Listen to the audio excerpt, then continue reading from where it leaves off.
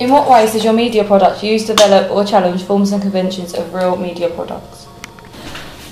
One convention we used was low key lighting.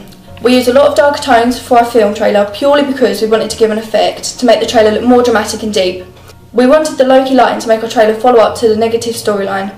The trailer which inspired us to use low key lighting was Black Swan and Women in Black, purely because they both have a negative storyline and when we watch it, the trailer gives us a thrill throughout the whole trailer and keeps us on our feet because we know it's going to be a scary film due to the low key lighting.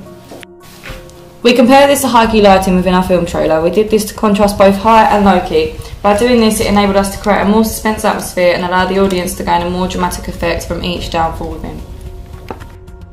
Two other conventions we used were dramatic cam- camera angles and edits. Throughout the trailer, we primarily used close ups and ex- extreme close ups to put emphasis on the emotions that the main character was feeling, and this generally being fear. We also used a few long establishing shots to not only introduce the locations but also to create an eerie atmosphere around certain settings that would hopefully be felt when the location appeared later in the trailer. With regards to editing, we used a lot of quick edits which were really impactful on the audience. Specifically, there was one scene where Claire's dark double slowly crept towards the camera. This scene was, uh, was inspired from the horror film It, It, where a similar scene had been used. Another convention we used was sound. We used a naturalistic sound for our trailer. For example, we had cars driving in the background which can be heard in a few shots of the trailer.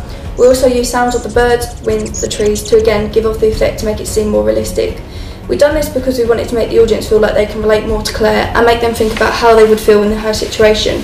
We also used sound effects in the trailer to make it more realistic without actually having the sounds being used in the real life. We used a phone slam in which shows that the person Claire was on the phone to hung up and we also used the sound of the phone ringing. This was all used to make the trailer look real. We wanted to make oh, we wanted to use all pure sounds in our trailer to make it more relatable to our target audience so they can feel attached to Claire throughout the whole trailer. Alongside this, we carried out non-diegetic and diegetic sound. This meaning non-diegetic where you can only hear the sound being played. Oh, come on. Sorry, just working out the kinks, you know, smooth car. This, is, this is radio is like. You know,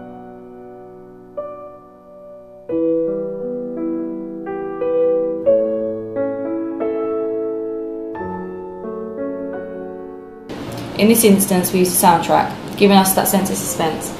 We did this to get the audience to feel more engaged and create more of a thrill. Besides this, we carried out diegetic sounds, this being voiceovers to create normality.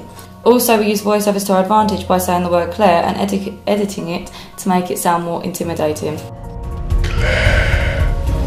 We allowed the audience to feel more fe- fearful. Also, it brought to the surface how Claire must have felt by making us gain the experience of feeling it too.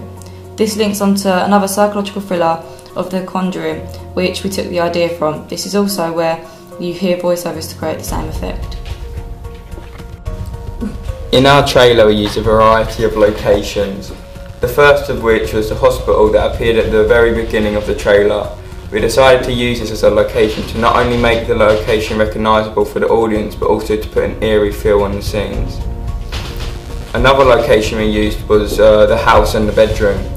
Beginning this location was also very dark and we feel this added tension to the shots. The final main location we used was the forest. In this scene, only the main character and her dog can be seen, showing how lonely the character is and how isolated she is in the derelict forest.